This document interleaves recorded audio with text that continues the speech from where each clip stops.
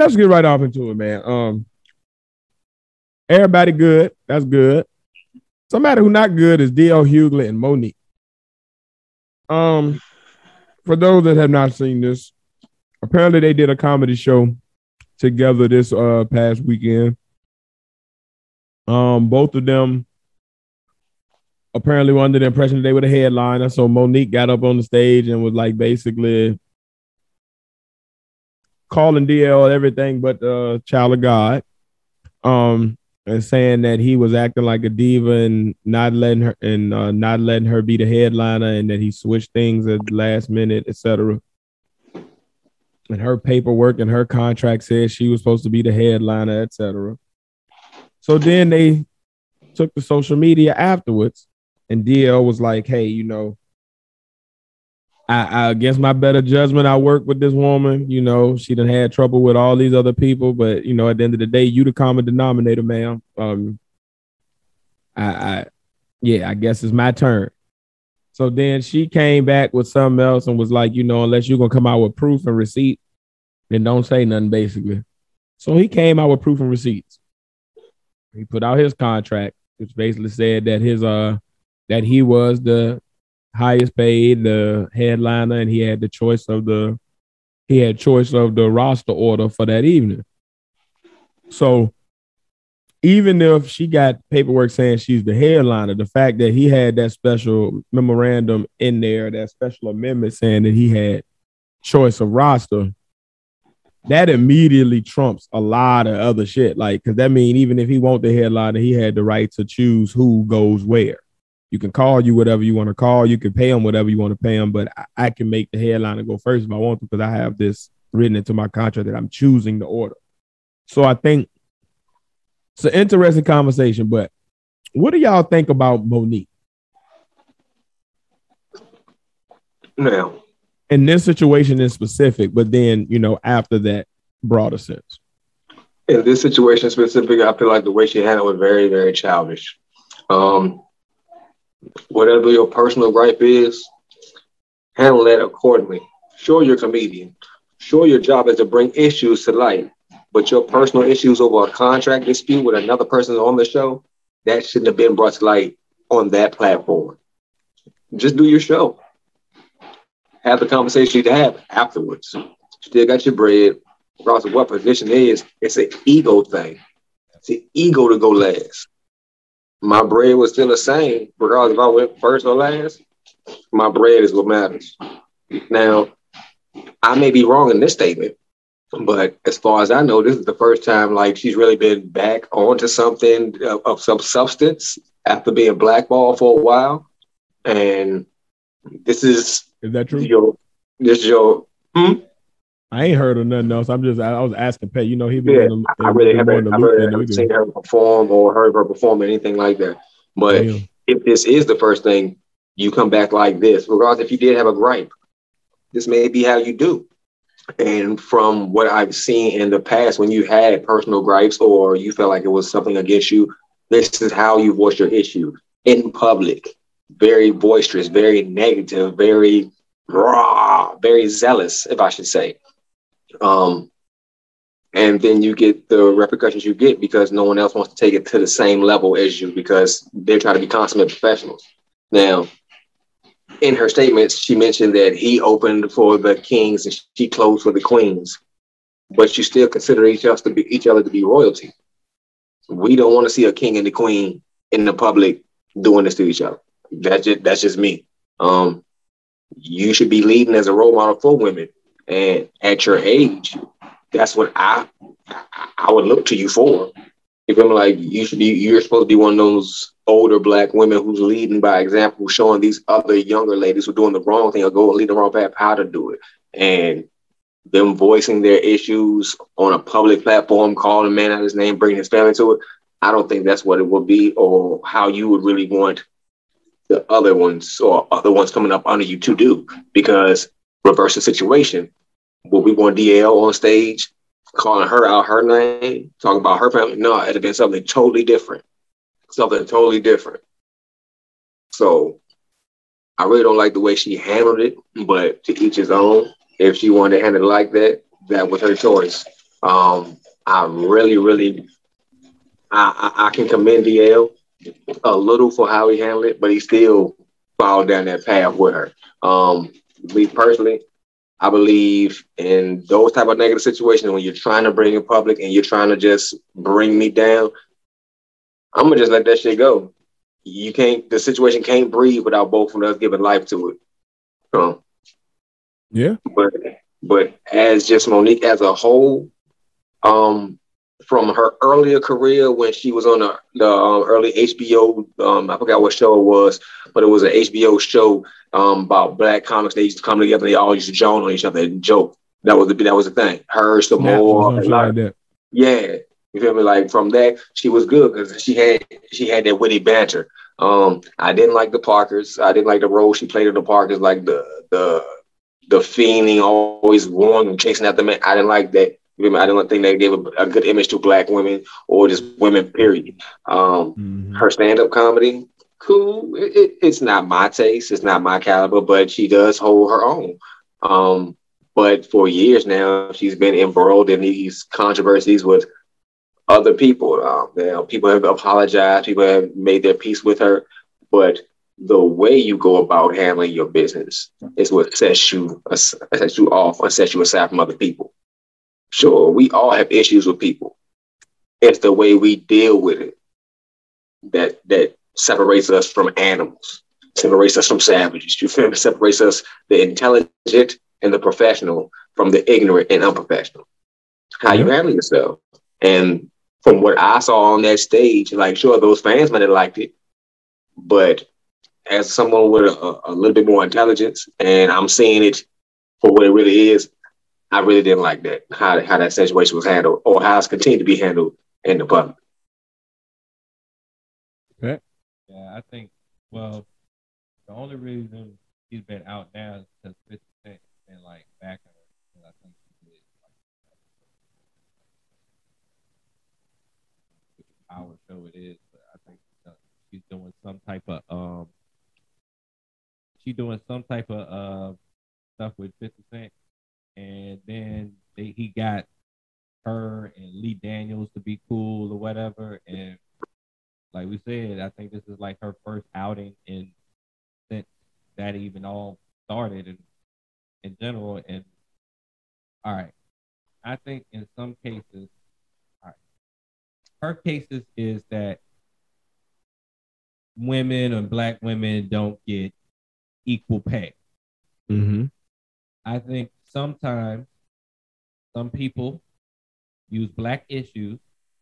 We can we have talked about some examples and try to ride that train so whenever they you know I'm saying something is in a disagreement in general which I think is I think is trash because it's messing up the whole movement in general.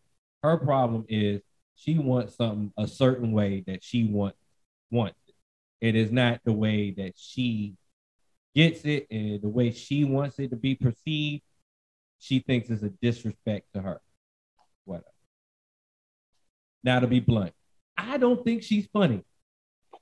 and I don't think she's funny enough to be a headliner over DL Hughley. I don't think DL is the funniest comedian in the world. Bingo. But I think he's funnier than Mo'Nique. Period. I, would, I I think if we had a whole nother if if it was um all right if we had add another comedian all right. Uh let's put Chris Rock up there all right. Who would be the headliner then Chris Rock. If we had Dave Chappelle then Dave Chappelle. Come on now. All right. Jamie Foxx. Jamie Foxx well, yeah, Jamie Foxx. Jamie Foxx. And it's not, and it's just off of star power, period. Star power. Mo'Nique has, Mo'Nique dabbled a little bit in some movies and some TV show sitcoms or whatever, and she has a little bit of star power. But you rank that all right, I don't think DL Hughley's show was probably that popping. His sitcom or whatever was that popping for that long, but that was in the period where sitcoms were slowly deteriorating on regular TV anyway, in general. But he pulled numbers on his um on all of his shows, and we can't forget him on BET. We have like consistent back to back showings of DL making people laugh in somewhat way. And he and he's relevant because he has a podcast and he has a consistent show or whatever. I, I me I think it goes down to who is funny. She is not that funny to me. Having known her to even be thought of in stand up more than her TV shows in general. I agree. Um, I definitely second that motion on her not being that funny to me, but I do get why she's funny to others. I, mm-hmm. I, I, get the appeal to somebody. Yeah, it's just not appealing to me. Um, I think the overall problem is it, it's two, it's kind of twofold here. So you got one issue of like the thing you brought up about scapegoating like things into like black or being sexist when sometimes it's just a personal thing that doesn't that you feel wrong doesn't mean that a group of people are being wronged or that it's indicative of somebody else being wrong. It's just you. It's just personally something is going wrong for you. Cool. I think that's one issue, but I think the bigger issue for Mo'Nique is the fact that like there's no self-awareness. There's never a point in the recourse or in the aftermath where she goes through and she then like she'll outline everybody else's problems or what they did wrong, but she'll never say like her piece of like, and you know what, I should have said this and I could have said that. You know, like to me, like for proper self-reflection or just to be a proper adult with certain type of situations like this, like you got to be willing. Some, uh, at least some some some sense of humility yeah, like I feel like you got to be like completely objective to be reflective. Like when a lot of times when I look back at situations, I'll still remember everything the other person said or did. Like that was fucked up. But I'll also see, all right, but I could have said something better here. So even though they did do that, I could have did something better here that might have steered it in a better direction. You know what I mean? Like I still see my parts and like, oh, I got smart right here and I shouldn't have. Oh man, and then I walked off right there. So that was, you know what I mean? So I, I see my pieces. I think her pe- her problem is she never sees her pieces, so she keeps repeating the same mistakes with different people. But it keeps coming back to the same outcome of like her feeling wrong, her having an issue. Sometimes it might even be like a legitimate contractual issue. Like she might be right contractually. Yeah. But then she fucks it up and messes up the relationship behind that contract by going into the public and like bad mouthing people. Like it's one thing for you to feel wrong. It's one thing for you to feel like, okay, my contract said this, this didn't work. All right, first thing I'm gonna do is go to the person you signed the contract with, because I guarantee it wasn't DL. So the first thing I'm gonna do is who's this other person, who's this other signature on the contract? Let me go talk to you. Yeah. Why is this like this? What's happening? Then DL might not even know what's going on let me go holler at him real quick. Like if, if he's supposed to be your brother in comedy and all that before this happened, then why can't you just go have a conversation with him and be like, hey, you know, my contract say this. What your contract say?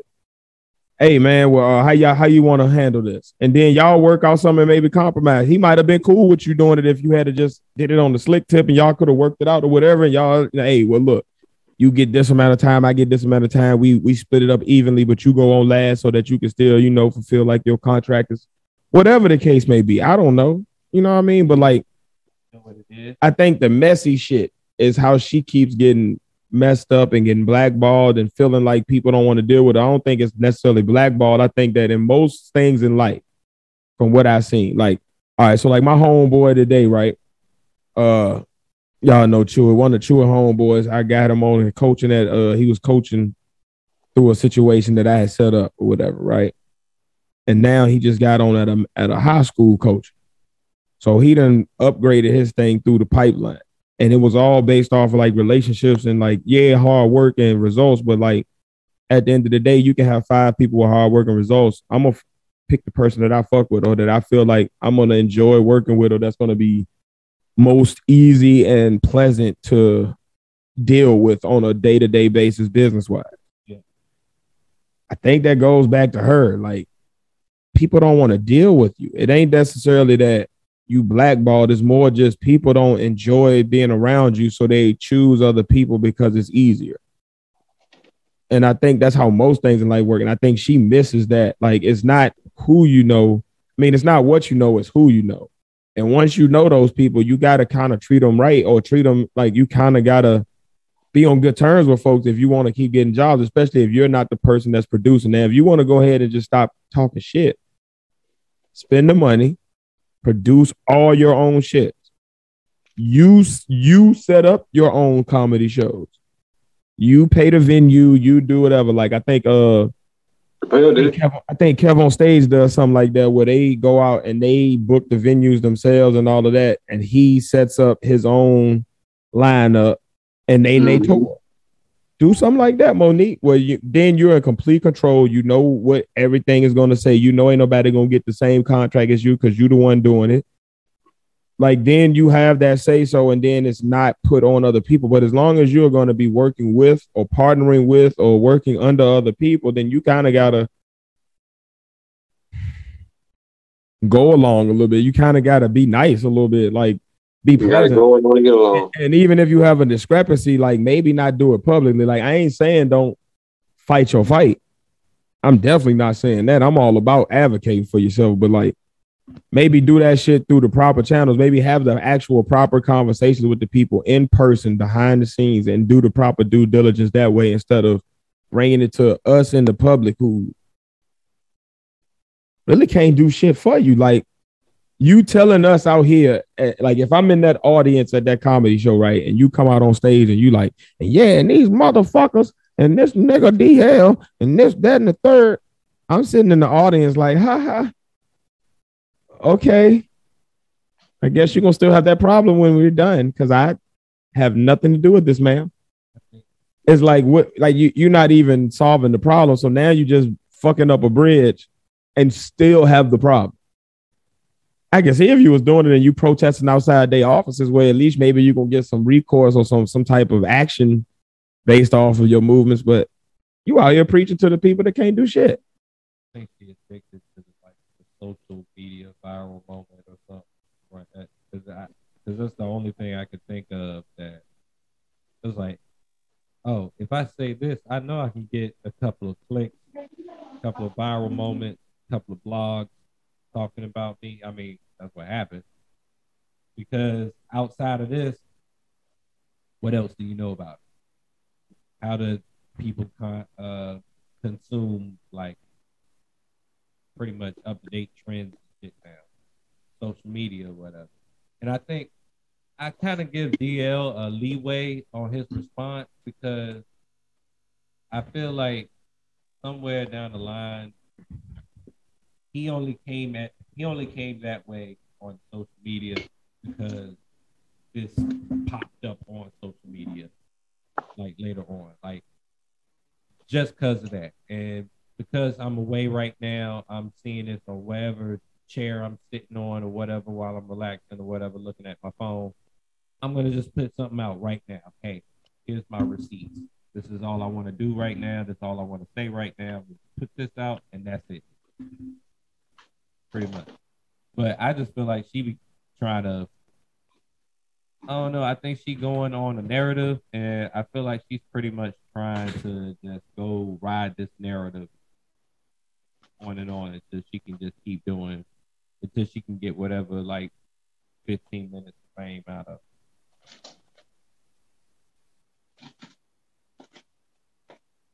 I think Tish had to run out right quick.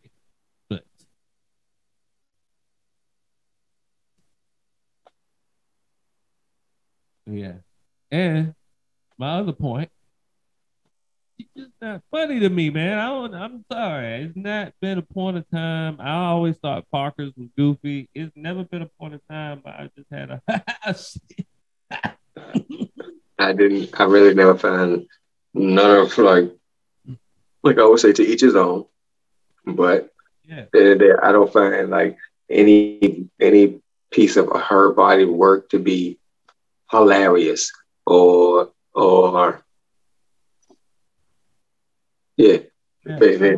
Uh, and people, I don't want people like you don't like female. Yeah, I, I love female comedians. Um, Sommore, some more is funny to me. Um, um, what's the girl? Um, to to to, to me, a comedian named Takara, some of that. Yeah, she's funny. She's funny as hell. Um, Who? Takara. Um, um, oh yeah, yeah, yeah. She used to work in the prison or something like that. Yeah. Yeah, even, yeah, um, yeah, yeah, yeah, yeah, Even even even Thea, Thea Vidale, she got a good a couple good sets to me. No, so so it, it, pretty hilarious. Thea. You feel me? So it's not that I don't like female comedians. I just don't like the the, the comedic stylings or or what she has to say, Mo'Nique. Uh, I'm just sorry, that's my opinion. I'm entitled to my opinion, just like everyone else is. Like I always say, wow. opinions and assholes. Everybody has one of each. Um, but I got a controversial opinion. Mm-hmm. I don't really care for female comedian. I think females can be funny as shit, but most of the the funny females that I know, they're not comedians. They either regular people or they might be actresses or something like that, but they're not like people that do that for a living for some reason. Like the people that do that for a living for some reason, I don't necessarily find them funny. Like I, I don't I can't recall like a female comedian set that made me laugh out loud. Like I get the humor. I'm not saying that they're not humorous or that like they're not like smart in their comedy. It's just something about I don't know whether it's the delivery. I don't know what it is. I find that a lot of female comedians like are overly overly raunchy. Like yeah, yeah. it's like they yeah, that's just that's just me. Uh, you feel me? Somebody else may say something else. Man, men say all this yeah, men say a lot of things to a certain extent, but I feel like women go overly just to try to be, just to try to show their they can go there like a man does, and just set of staying in whatever pocket they feel comfortable in. Like I'm not saying women have a place in comedy, but whatever pocket you feel comfortable in, like there's some comedians that do a lot of impressions, and that's their pocket. They don't do storytelling; they I do impressions. you know who funny? Who? Dominique. With the curly head. The little she from DC, she was on Black Jesus. Yeah. Yeah. She funny as shit. Now I mm-hmm. take I take that, but yeah, she funny as shit. Like I I um, she had me weak. She um, hilarious. Oh, I'm not gonna be PC about this description. Um, the manly looking. She on SNL now. Big Leslie. Yeah, she's she loud as hell. Yeah. She loud as shit. I don't think she funny like that. She just loud. She just be yelling at me with them black air gun. I see one. Gonna look like mine. Like I don't know what I don't know what deficiency she got, but I got the same one. But I don't like nothing that look like me yelling at me. Like her Maybe want to punch in your shit. Like what the fuck is you yelling at me like that, man? Her delivery, her delivery is very unique. I say that. Ain't none over six two supposed to be yelling at folk. Yeah. At that point, you are a threat. Yeah. Yeah, I seen the SNL skit when she made Drake sit on her lap, right? No. But that nigga like six one six two. So how the hell you got that big? At, like what the fuck?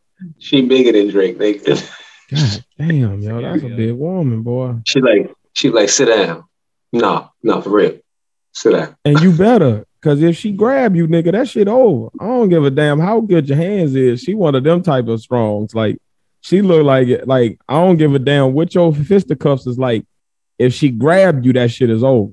Like you might be able to bob and weave and, and stick and move, but if she if she get one of these here, huh? One of them uh what's that movie? Money Talk. Y'all seen Faizon Love when he grabbed Chris Tucker? If she get one of them on your shoulders, huh? She grab oh, he grabbed you like this. If she get one of them grips, nigga, you it's a wrap. She about to choke slam the fuck out of you. No, nigga. Faizon Love when they was in prison with Chris Tucker. And Chris oh, Tucker was on Money Talk and that nigga was in the jail cell, and that nigga Chris Tucker was talking about how he got beat up or something like that. that nigga Faizon like, oh, they grabbed you. They grabbed you like this. Big laser, like Terry Yo, Big Lazy, that's a yo. I'm telling you, yo, that's that's a Andre the Giant daughter.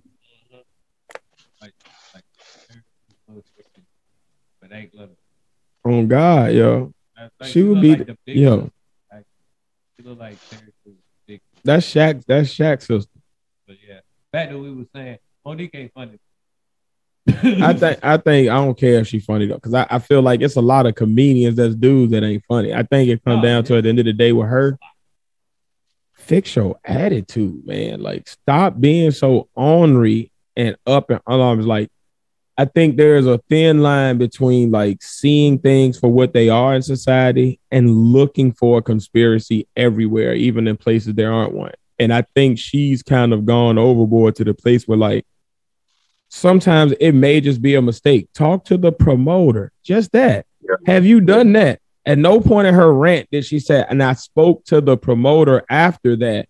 And then like it's just up. Oh, I feel slighted. I'm gonna spaz.